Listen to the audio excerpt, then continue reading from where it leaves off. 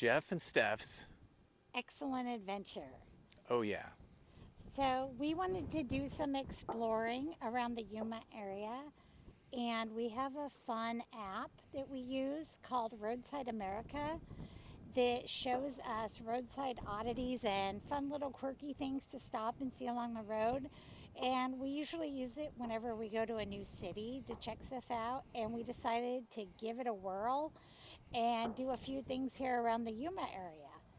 Side note, Yes, this is the windiest day since The Wizard of Oz. it is super windy. Yeah. So, we're going to try our best here. Hopefully you'll hear us talking and Yeah. not just a windstorm. Yes. So behind us here is this amazing bridge. Built in It's 1929. yes.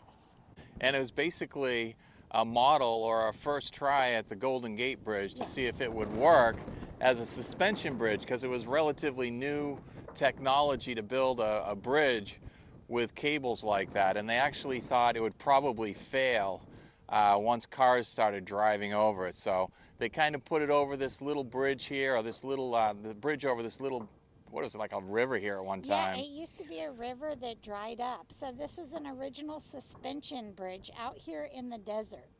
It's currently called the Bridge to Nowhere in Yuma. And again, it was built prior to the Golden Gate Bridge. And then the water that was running under it at the time when they built it has since dried up due to all the damming of the Gila River.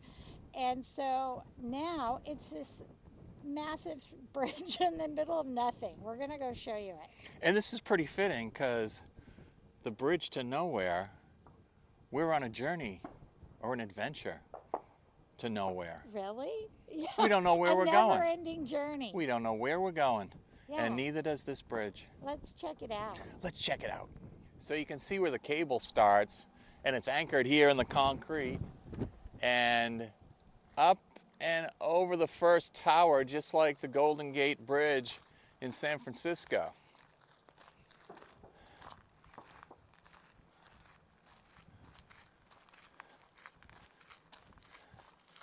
So here you can see the bridge, a side angle of it here. And uh, how long is this bridge, honey? It's 800 feet 800 feet long. and it just spans over nothing. What used to be a river, which was diverted by a dam, I don't know how long ago. Yeah, so now it's just like a wash plain underneath. Um, the bridge is closed off to pedestrians right now. There's a gate across it. Um, I read that they deemed it unsafe for traffic. And so they were just going to block off pedestrians for now also. But you can see how massive this is. So why go to San Francisco and spend all that money for a toll to go across that bridge Right? when you can come right here, True that. right? Pretty cool. So our next stop on our tour of Yuma roadside attractions is this tiny church. This church is the smallest church in the world, they say. Right. It measures 9 by 12 feet and it was built by a farmer who owns this land for his wife after she passed away. Her name was Lois and this church was dedicated to her. And it's called the Tiny Chapel. Now this church can fly, right? That's what we read. Very interesting, yeah. So, in a windstorm in 2001, this church was completely lifted up off the ground and blown 60 feet.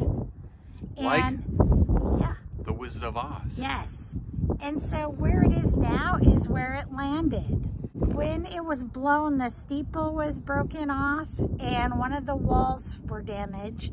And local residents and neighbors and such gathered supplies and repaired the chapel. And it now sits here where the spot it landed. So I guess that was meant to be. For sure. Yeah, it was supposed to be built in this spot to begin with. I can't wait to see what it looks like inside. Yes, so we're gonna go check out the tiny chapel here.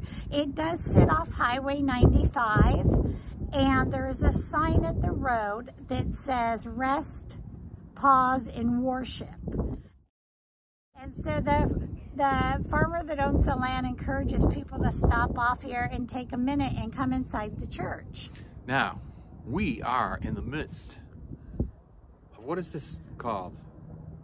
Cilantro? Cilantro. Yes. A cilantro field. Yeah, so it if you like smells Mexican so food, amazing here. I love cilantro. Me It's one of my favorite things. Yeah, it does Yeah. smell amazing. It Smells so good, and tastes so good. Let's It's check out. superfood. Let's check out the church. Let's go inside. Okay. Yeah. Okay, let me get that door for you. Let's go check it out. Welcome to the world's smallest church. Oh, look how Whoa. adorable this is. How nice is that? It has three little rows of pews, very small pews. Stained glass windows. It maybe holds 10 people in here.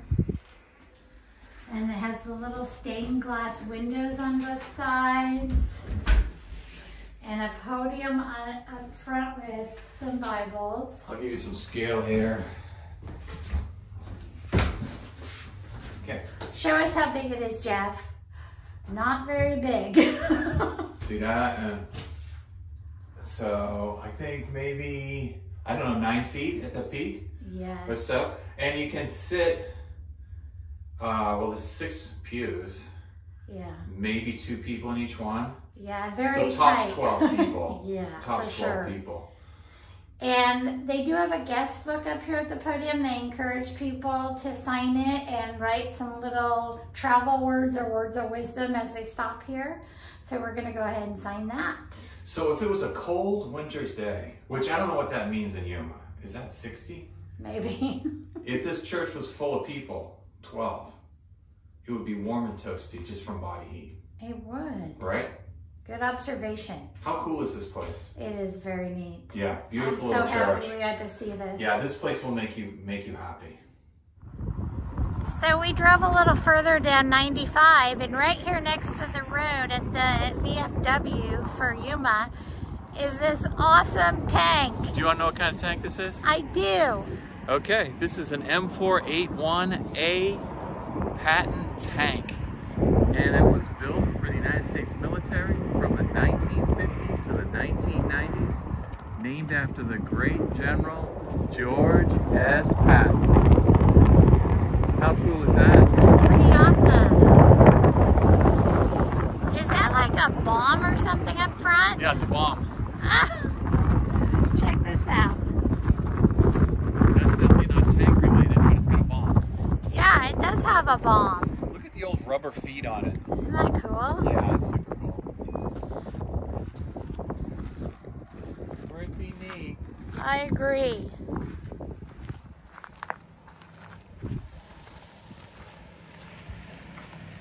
And there's a massive anchor, I'm sure, off some famous boat. Yeah.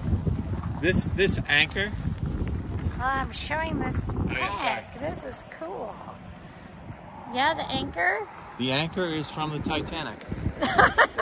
It is not. Thank you for that artificial fact.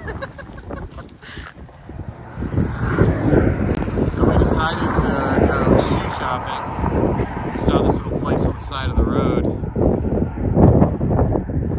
So there is this random tree stump here on Highway 95. And It looks like everyone throws their shoes on here. There's shoes all over the ground here. But they're gonna get one of these. Yay, we don't have any shoes to leave. But we've got a rock. We have a Jeff and Steff rock, so we're gonna place this on the shoe tree. Look at all the shoes here. This is so funny. There's slippers, there's boots, sandals. Oh, there's some soccer cleats.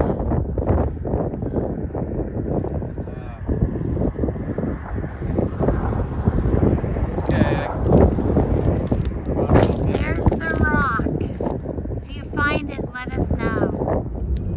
Today we're using the Roadside America app to find unique and fun little roadside oddities and stops to see in the area. So you can use this any area you are. It locates you by GPS and then finds uh, fun little things within certain distances you can put in within five miles, within 20 miles, whatever. Um, the app is in the App Store. It's $2.99, just a one-time fee. You don't have to pay an annual, but we've used it in almost every single city and state we've been in to find unique places to visit. Um, go ahead and download that. I'll put the information up on the screen now.